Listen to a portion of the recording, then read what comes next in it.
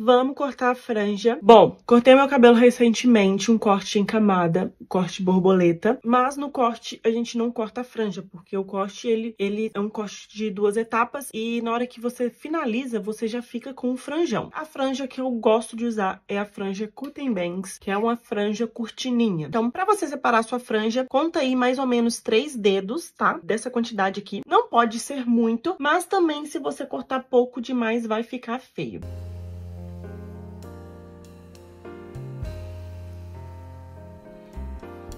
Então, a sua primeira referência vai ser esses três dedos aqui. E a sua segunda referência vai ser o arco da sua sobrancelha. Então, mais ou menos, tá? Aqui, ó.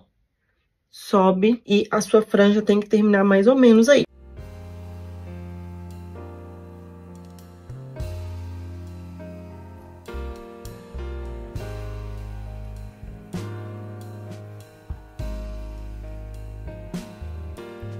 A primeira coisa que você vai fazer agora é cortar a base da sua franja. A minha franja tá aqui no um pouquinho abaixo do queixo. Então, na hora de você delimitar o tamanho, cabeça reta, eu vou cortar a minha aqui perto da boca aqui. Essa quantidade aqui de cabelo, bastante cabelo. Cabeça alinhada.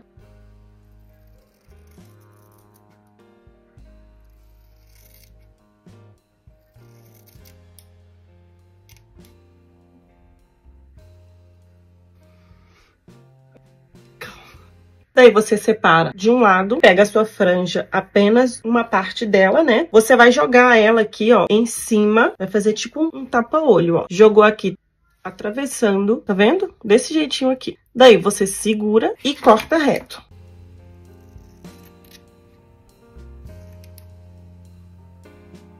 Mais uma vez para conferir. Tá vendo que a franja fica com uma pontona? E a ideia aqui é você alinhar essa franja. Então, você vem aqui e tira essa ponta.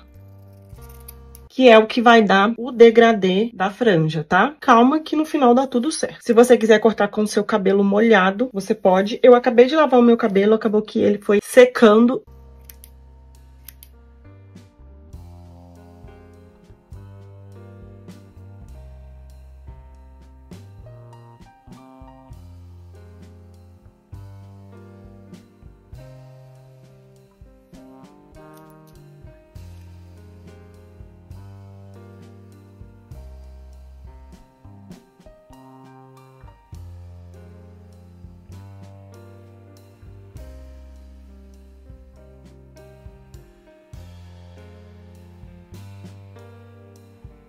Eu nunca gosto muito da franja no dia que eu acabo de, de cortar ela, porque eu nunca consigo escovar do jeitinho que eu quero. É basicamente isso que eu faço, ó.